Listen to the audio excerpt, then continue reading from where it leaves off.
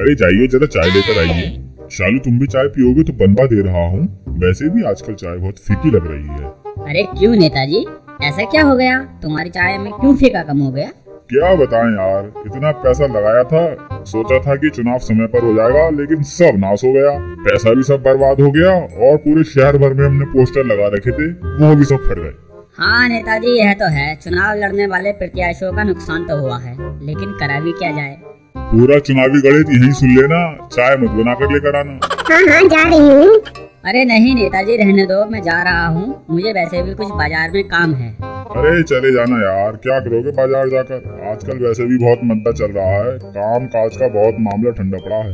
अरे हाँ लेकिन एक बात तो सुनो नेताजी चुनावी मैदान में जो प्रत्याशी थे वह भी शायद ठंडे पड़ गए हैं। ना ही जनता के बीच दिखाई दे रहे हैं। और न ही घरों में दिखाई दे रहे।